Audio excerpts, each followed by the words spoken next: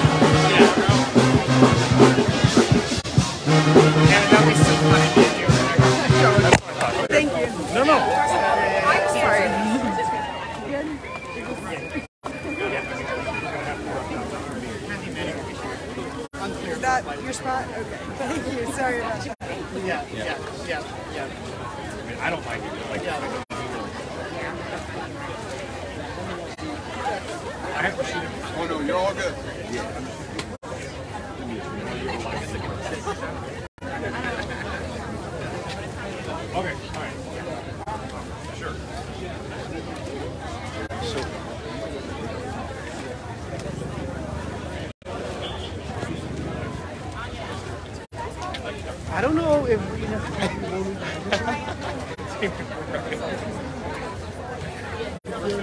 I didn't even know. This is great. All right.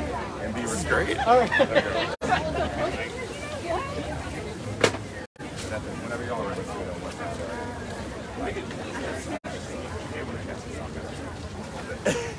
Perfect. Okay, a quick question for you. I'm wondering if, like, um, it seems like. Yes, I'll do here. Oh, are you I'm sure? fine. might want to ask her.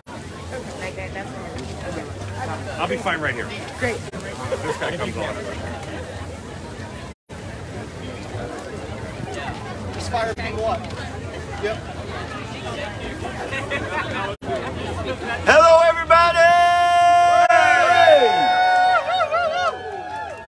All right, we gonna get us fired up and ready to go. Fired up! Ready to go! Fired up! Ready to go! Fired up! Ready to go! Fired up! Ready to go! Fired up! Ready to The go! people united will never be defeated. The people, United will never be come on defeated. now. The people united will never be defeated. defeated. The people united will never be defeated. defeated. The I, people united will will never never be defeated. because I believe that we will win. I believe that we will win. I believe that we will win. I believe that we will win. You believe that we will win. You believe that we will win. You believe that we will win. You believe that we will win. We fired up, Ready to go! fired up, Ready to go! fired up, Ready to go! fired up, Ready to go! fired up, Ready to go! fired up, Ready to go! fired up. Ready to go! I believe that we will win. I believe that we will win. You believe that we will win. You believe that we will win. Yeah. Whose vote? Our vote. Whose vote? The people's vote. Whose vote? The people's vote. Uh, whose vote? The people's vote. Whose vote? The people's vote. Whose vote? The people's vote. Whose vote? The people's vote. Politics or people? People. People. Whose vote? Whose vote? The people's vote. Whose The people's vote. Whose vote? The people's vote. Fired up. Ready to go. Fired up. Ready to go. Fired up. Ready to go. Let's go. Good morning. Let's go. Let's go. Thank you all. Thank you to the League of Women Voters for those great chants. Thank you everyone for joining us this morning. I need a little, Um, good morning, everyone. My name is Marilyn Carpintero, um, and I'm with Common Cause. I want to welcome everyone for joining us today.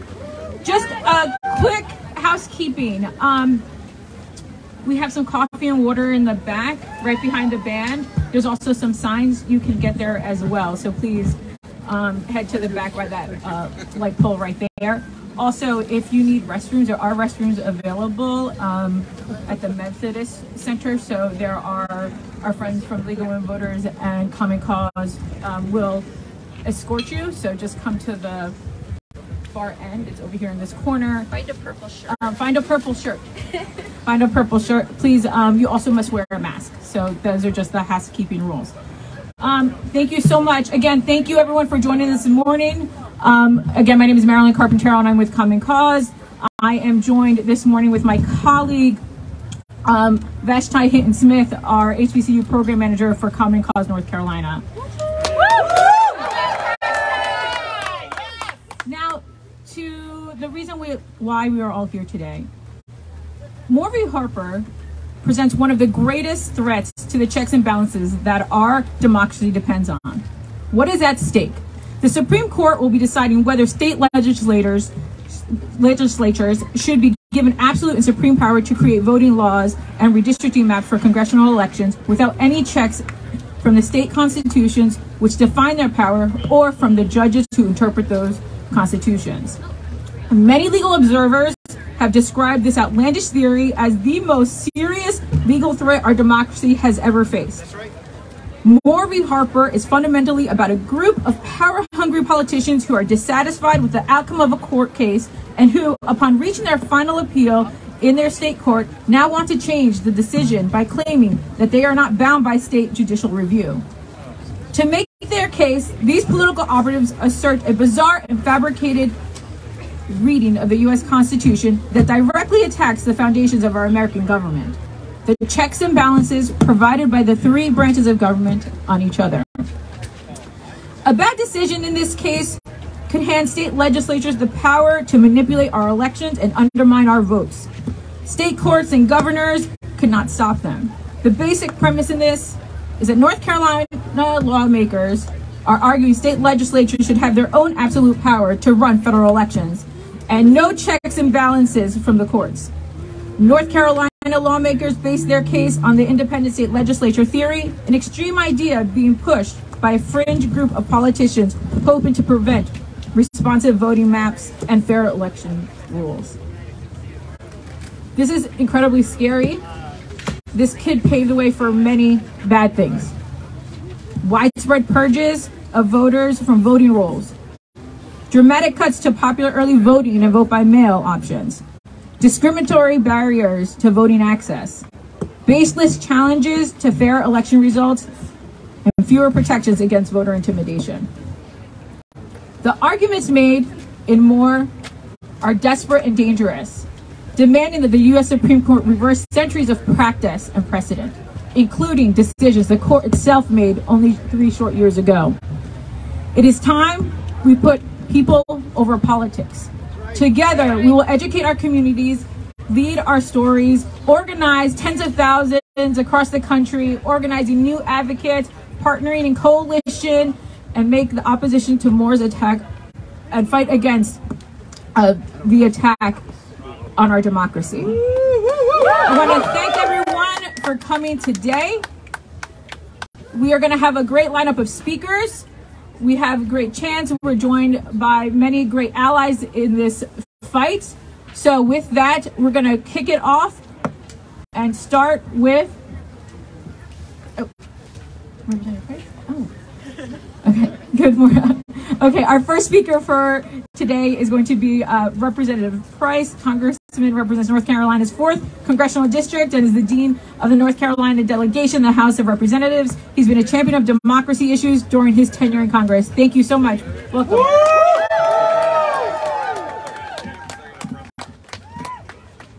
Well, good morning, everyone. Thank you for being out here. We're here on the steps of the U.S. Supreme Court as the High Court begins the oral arguments for Moore versus Harper, one of the most consequential court cases for American democracy in our country's history. For decades, North Carolinians have seen blatant racial and partisan gerrymandering by the General Assembly, diluting the voices of millions of disenfranchised voters.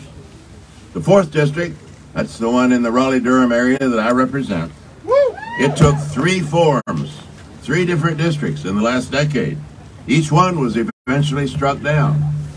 The U.S. Supreme Court ruled out the racial gerrymanders, but in the Rucho case, refused to deal with what they acknowledged was extreme partisan gerrymandering. Well, we finally got a fair map in North Carolina. We now have a 7-7 congressional delegation. That's what you'd expect in an evenly divided state. But that was only because our state Supreme Court took seriously our state constitution's equal protection clause and ordered the partisan gerrymander revised. The Republicans didn't like it. After drawing 10 to 3 maps for a decade, they didn't like 7 7. They didn't like a fair map. So they brought this case, arguing that the Republican legislature should be absolutely supreme, absolutely unchecked, able to act without any constitutional constraint. Shame. So, so that brings us to today, the Moore versus Harper decision. it most certainly is about fair districting, but think about it. Think about the areas in which uh, state legislatures could uh, take this supreme power and do great mischief. It's about much more than redistricting. It left, if a state legislature is free to gerrymander at will under the independent state legislator theory, what's to prevent it from manipulating early voting or provisional voting or voter registration rules, all to their political advantage? And what might prevent a legislature from ignoring the popular vote altogether and manipulating the selection of presidential electors, as Donald Trump demanded in the last election? So this is a big deal today, my friends, and I'm glad you're out here. Moore versus Harper would elevate a fringe theory of legislative supremacy into a license for state legislatures to act without judicial review and without constitutional constraint. We're here today to ring the alarm and to ring it very loudly. The ground rules of democracy are at stake, and the Supreme Court must do the right thing. Thank you for being here.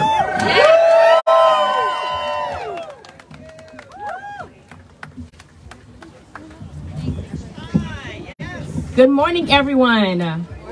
Up next, we have Congressman-elect Wiley Nickel, who represents North Carolina's 13th Congressional District.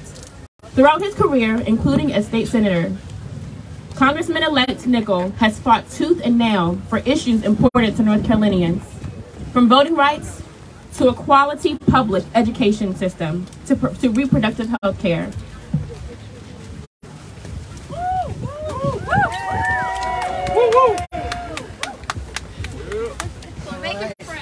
All right, hello everybody. I'm Wiley Nickel. I am a North Carolina state senator. I voted against these maps in the North Carolina Senate. And then we fought and we fought and we fought and we got these maps to the North Carolina Supreme Court and they struck them down for violating our state constitution. And then we got new maps from our courts. They gave us maps that would likely elect seven Republicans, six Democrats, and then there's North Carolina's 13th district. The district that I ran in, it was a district drawn as a 50-50 seat, a district that could elect anyone to Congress. And we ran, we fought, and I am going to be in Congress in the next session across the street. Fair maps matter, folks. I stand before you at this critical juncture in our nation's history with a Supreme Court case that has a potential to threaten our entire democratic system. Moore v. Harper is a fringe legal case that started, as you know, in North Carolina when the state legislature drew incredibly gerrymandered maps that would have elected 11 Republicans and three Democrats. North Carolina is a 50-50 state and we deserve to have a 50-50 state delegation. That's what we have right now with seven Republicans and seven Democrats. And as you know, the North Carolina Supreme Court stepped in and said that those maps did not comply with our Constitution. Elections in North Carolina must be free and fair. Thanks to the court's intervention, the voters of North Carolina got a map that is truly fair. A map, again, that resulted in seven Republicans and seven Democrats going to Washington. The Republican Speaker of the House, Tim Moore, challenged this ruling, claiming that states court, state courts have no say. Folks, let me tell you, he is wrong.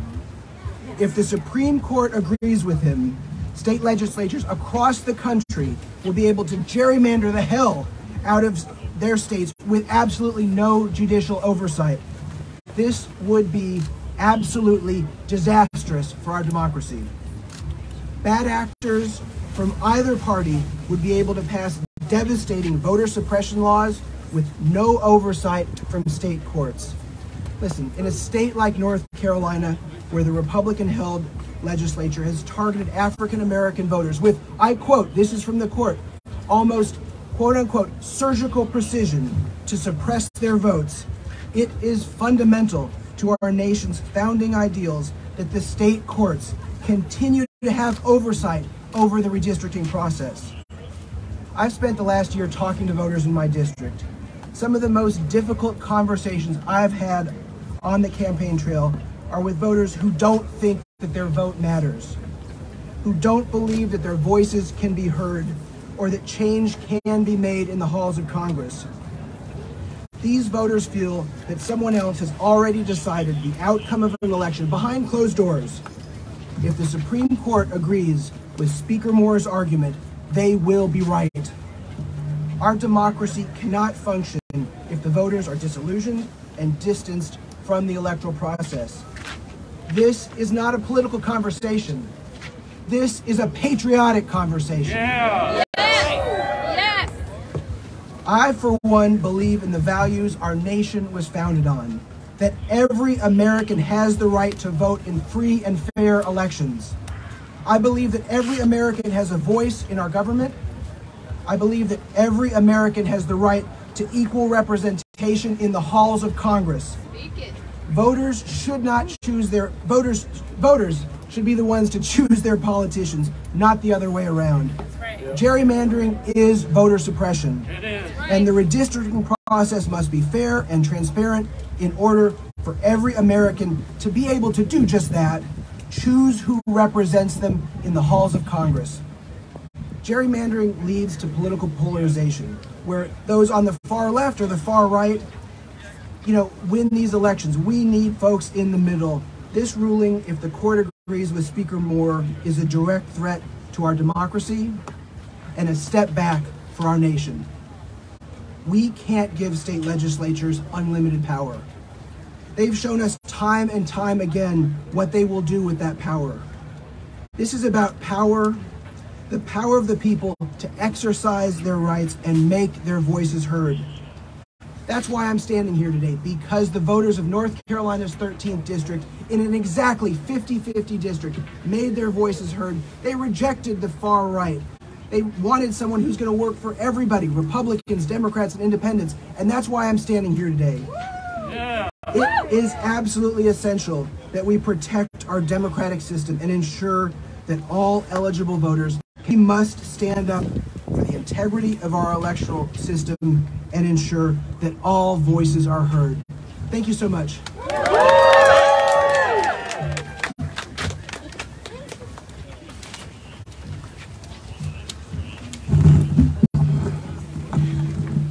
Up next, I am so excited to bring up my own representative, Kathy Manning. Congressman Kathy Manning represents North Carolina's 6th Congressional District. As a member of the Education and Labor Committee, Congressman Man- Congresswoman Manning is a strong advocate for early childhood education and investments in school infrastructure and historically black colleges and universities. Aggie Pride.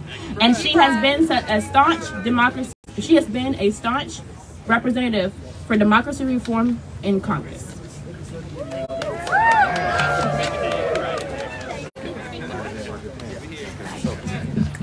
Morning, everybody. Good morning. I am Congresswoman Kathy Manning. I am so proud to represent North Carolina's 6th Congressional District. And I am here today to advocate for the people of North Carolina who face the looming threat of losing fair representation in Congress. We all know that today the Supreme Court is hearing oral arguments in Moore versus Harper, a case that has the potential to unravel the very foundations of our democracy, starting with fair and balanced congressional maps in North Carolina. As many of you know, the Republican controlled North Carolina General Assembly is asserting that the Constitution gives absolute power to state legislatures beyond the reach of state courts and laws to regulate federal elections. This assertion challenges judicial oversight, and if this argument wins, it could lead to state legislatures gerrymandering congressional districts beyond recognition to further their party's political power while denying the will of the voters. I have witnessed the grievous impact of gerrymandering in our state's recent past, and I'm deeply concerned for our state's future if the court rules in favor of partisanship over the people. North Carolina is a purple state. Recent statewide elections have shown a nearly 50-50 split in vote share for Democrats and Republicans. With that in mind, North Carolinians should have the opportunity to elect a balanced congressional delegation with an even split. For the first time in decades in the 118th Congress, North Carolina will have a congressional delegation that is evenly split. Seven Democrats and seven Republicans. That is fair and balanced. And this was made possible because of oversight provided by state courts. Last year, North Carolina's Republican controlled state legislature submitted such an egregiously gerrymandered map that even with a 50 50 popular vote, Republicans would have won 10 seats, leaving Democrats with four at best. North Carolina Supreme Court struck down that highly partisan gerrymandered map based on the North Carolina state constitution, and they appointed a special master to draw competitive congressional districts. A gerrymandered congressional map that automatically elects 10 Republicans and 4 Democrats is clear disregard of the people's will. But that's the point. The Republican controlled North Carolina state legislature is not interested in the voters' preferences. Instead, they are determined to keep and grow their political power, and they're willing to trample on anyone who gets in their way. Shame. This brazen attempt at a power grab has made it all the way to the U.S. Supreme Court, and it is appropriate that it is a gray and rainy day as this terrible case is about to be heard. Republican leaders are set on dismantling our system of checks and balances that protect our democracy so that they can rule unencumbered by democratic ideals that detract from their absolute power. If the decision in Moore versus Harper faces North Carolina's Republicans, the trumped and baseless independent state legislature theory, then the Supreme Court will be choosing to ignore judicial oversight, erasing checks and balances on state legislatures. Beyond North Carolina, this case poses an existential threat to the foundation of America. Unchecked power undermines democracy. This threat to our democracy is a real and present danger. We must speak up, we must make our voices heard, and we must make our strong concerns known. And I'm grateful to each and every one of you who came here today and is standing undeterred in this rain. Thank you for being here. We must continue passing, pushing for federal legislation that governs our elections, ensuring a free and fair process in every state. Let's return the power of our democracy to the people by, by enacting the Freedom to Vote John Lewis Voting Rights Act. We must, we must pass that bill. We passed it in the House several times. We must get the Senate to pass it to prohibit highly partisan and racial gerrymandering. In the face of an uncertain outcome at the Supreme Court and Republican support for this dangerous policy, we must codify election standards at the federal level. Yeah. So that no voter is disenfranchised by partisan state legislatures. Yeah. I will continue to fight for legislation that protects our democracy from dangerous partisan power grabs. I will continue to put people over politics. Yeah. Thank you for being here today. Please continue to make your voices heard. And don't just talk to those of us who agree with you. Talk to those of us who are standing in the way of the people having their voices heard in North Carolina and across this country. Please contact all your representatives. Tell them we need federal legislation to protect voting rights in every single state across this country. Thank you so much, everyone. Hope to see you again soon.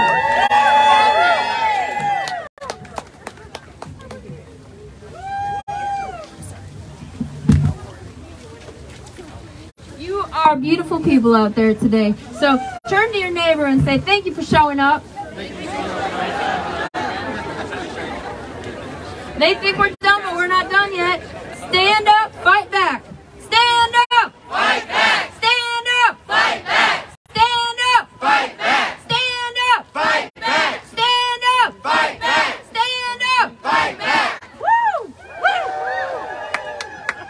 What do we want? Fair maps. When do we want them? Now. What do we want? Fair maps. When do we want them? Now. What do we want? Fair maps. When do we want them? Now. What do we want? Fair maps. When do we want them? Now. Fired up. Ready to go. Fired up. Ready to go. Fired up. Ready to go. Fired up. Ready to go. I believe that we can win. I believe that we can win. You believe that we can win. You believe that we can win. All right, give it up for yourself. Thank you. Thank you. Um, I now have the privilege of announcing our next speaker. Um, Jaki Shelton Green is the first African American and third woman to be appointed as the ninth North Carolina Poet Laureate. She teaches documentary poetry at Duke University Center for Documentary Studies and is a 2019 Academy of American Poet Laureate Fellow. She has received many recognitions. Forbes magazine recently listed Jaki Shelton Green in their 50 over 50 2022 list of women in the lifestyle category. When Governor Cooper appointed her as poet laureate, he stated that Jaki Shelton Green brings a deep appreciation of our state's diverse communities to her role as an ambassador of North Carolina literature. Please all join me in welcoming Jaki Shelton Green.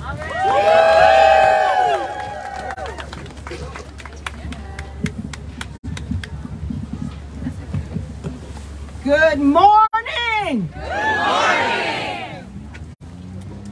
In the 1700s, Haitian women, enslaved women, Haitian enslaved women, were beaten more regularly than their male counterparts. Every day they used their only defense, and that was their tongue. They would not shut up. They would not shut up. Today we stand, all of us together, not shutting up.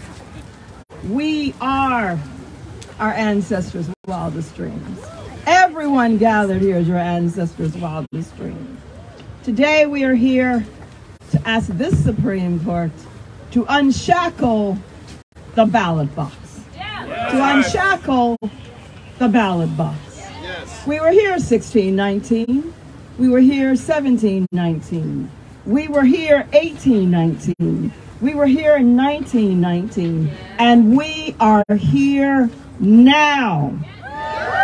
Let's say that. We are here now. We are here now. In North Carolina, over the last dozen years, we have too often found ourselves at the front edge of a growing war against democracy. Judges have ruled that our General Assembly has enacted the largest racial gerrymanders ever, ever reviewed by an American court. Lawmakers also subjected Tar Heels to the most outrageous and pervasive political gerrymanders in this country's history. They altered election rules to disenfranchise black voters with what the courts deemed to be surgical precision. The North Carolina legislature has repeatedly demolished democratic guarantees in order to entrench its power. It has sided against the American promise. It has broken our constitutional compact. It has breached a foundational premise of consent of the government. Now our lawmakers ask the United States Supreme Court to give them unfettered power in the Moore case, to literally disable democracy in this ancient commonwealth.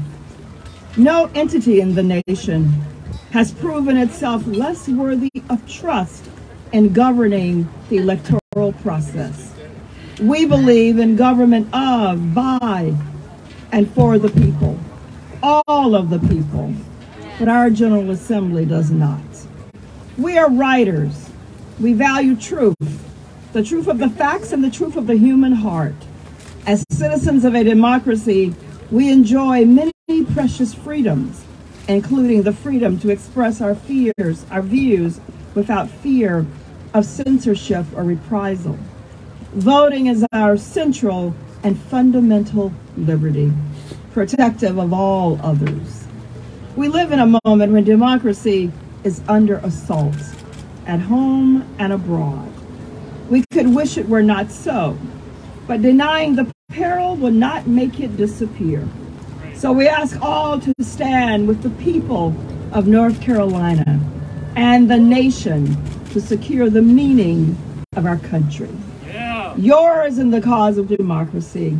I stand before you representing the North Carolina Writers for Democratic Action. Where are we? We are here now. Now. Now.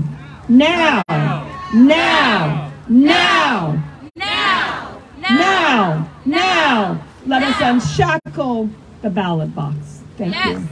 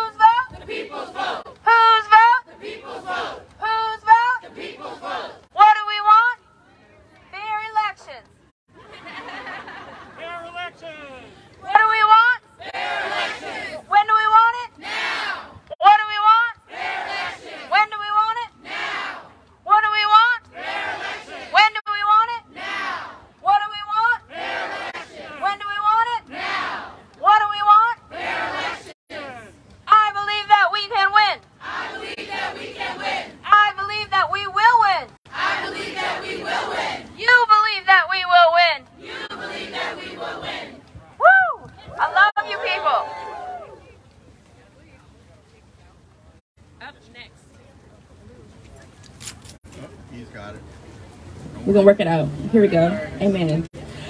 I am so excited to bring up to you all a fellow North Carolina A&T State University alum, Aggie Pride, Mitchell Brown, who serves as the counsel for voting rights at Southern Coalition for Social Justice.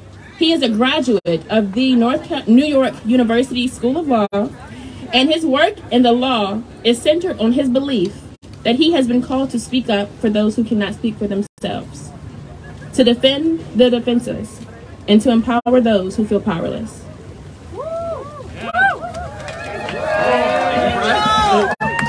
Good morning, good morning. I said good morning. Uh, good morning. My name is Mitchell Brown. I'm counsel at the Southern Coalition for Social Justice in Durham, North Carolina. and I want to start off my remarks today by thanking all of the countless community members across the country that are engaged in advocating for fairness, equality, and equity in the North Carolina redistricting maps, as well as other redistricting maps across the country. When the people speak truth to power, there's no telling what we can do. It is a bedrock principle of our democratic society that the people shall rule, not politicians. In 1863, President Abraham Lincoln, seeking to unify our country during the Civil War, stated that government must be of the people, by the people, and for the people. This morning, the highest court in the land will be determining whether people or politics will prevail. It is my hope and my prayer that the court sides with the people. Moore v. Harper shows that politicians in North Carolina legislature are attempting to wrestle the power of electoral choice away from the people and give it to themselves. And they are trying to usurp the power of the North Carolina courts to hold them accountable for not abiding by the state constitution. The same constitution that itself is the reason why the legislature even exists. There must be a system of checks and balances between state courts and state legislatures. State legislatures cannot have the ultimate power to draw whatever districts they want to, especially if those districts unlawfully disadvantage specific voters. If the Supreme Court agrees with the North Carolina legislature, in this case, the court will be giving the North Carolina legislature ultimate power to draw congressional maps that favor one party over the other. And another, and, and neither federal courts nor state courts will be able to hold them accountable for their travesty, diminishing the voting power of certain groups of people through the maps. Lastly, if the Supreme Court agrees with the North Carolina legislature, one set of rules will govern federal redistricting and another set of rules will govern state redistricting, even though the same body is drawing the same maps. And through this precedent, other state voting laws could also be in danger of being nullified, throwing our electoral system into potential chaos. Voters should choose their elected officials. Elected officials should not choose their voters. To have elected officials choosing their voters offends the democratic ideals of the United States. I pray that the United States Supreme Court recognizes that the people must always prevail over politics and ensures equality and equity for all voters. Thank you.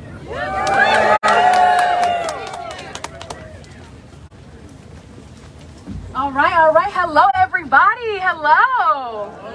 When I say no, you say more. No. No. When I say no, you say more. No. No. No justice, no peace. No justice, no peace. No voting rights, no peace. No voting rights, no peace. No justice, no peace. No justice, no peace. No voting rights, no peace. No voting rights, no peace. When I say no, you say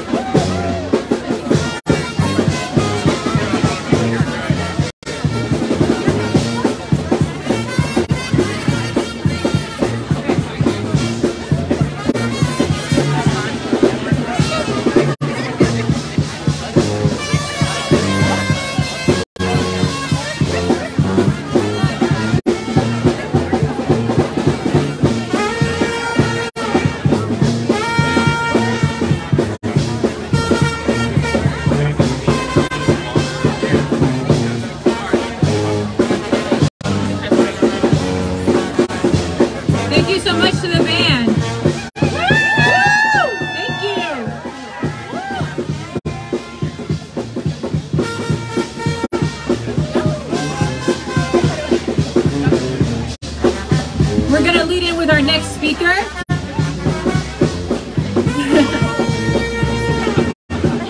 Thank you. To, we're gonna go into our next speaker. They'll be playing more music, I assure you. So I want to introduce our next speaker. Um, is Virginia. Kase Solomon, who is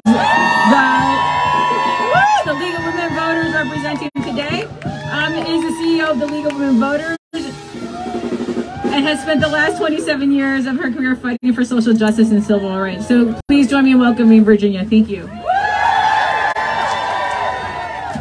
Good morning, everyone. A little rain doesn't scare us, right? So can I just ask everybody, are you happy to be here today? We are joyful warriors. We don't let a little bit of rain scare us. And we are here today as partners in democracy. We are united to keep people over politicians. Say it with me, people over politicians. We need free and fair elections, not ones that can be determined by fringe theories like the independent state legislator theory. At the League, we believe that a democracy, a democracy is where everyone can participate. That decisions aren't made by a handful of privileged